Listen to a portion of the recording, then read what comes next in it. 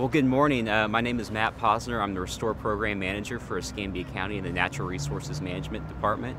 Today we're here on uh, beautiful Bayou Chico, about to, to, head out onto Pensacola Bay uh, for a site visit and kickoff meeting for the new uh, NAS Pensacola Bay Living Shoreline Project. Um, really, this is an exciting time. This uh, NAS uh, Pensacola Bay Living Shoreline Project has been selected by the Gulf Coast Ecosystem Restoration Council or the Restore Council, as it's commonly referred to as, uh, for funding. This is uh, Pot 2 uh, funding from the Restore Act, which flowed to uh, the Florida Department of Environmental Protection, and DEP then subsequently subawarded that funding to Escambia County. So today, Escambia County is, is joined with uh, federal representatives, including um, EPA, U.S. Uh, Fish and Wildlife, National Marine Fisheries Service, Army Corps of Engineers, and others.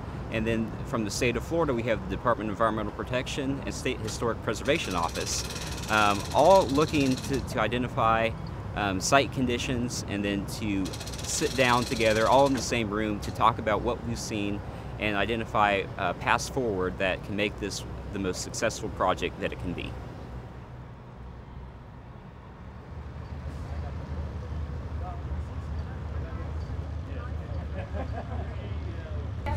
Really?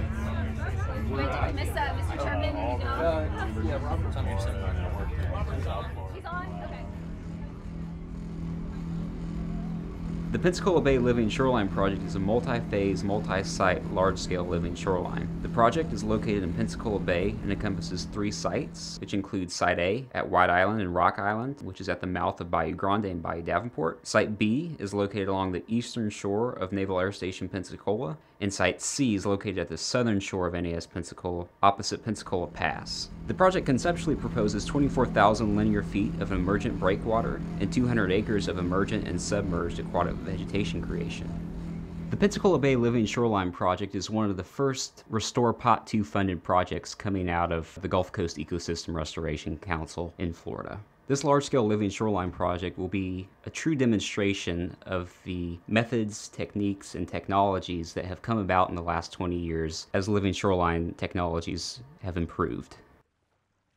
So the NAS Pensacola Bay Living Shoreline Project has been selected by the Gulf Coast Interagency Environmental Restoration Working Group as one of their two pilot projects across the entire Gulf Coast um, for streamlining uh, the permitting process and identifying efficiencies um, in the permitting process for restore funded projects. This is really the first time this has ever been done at the federal and state level.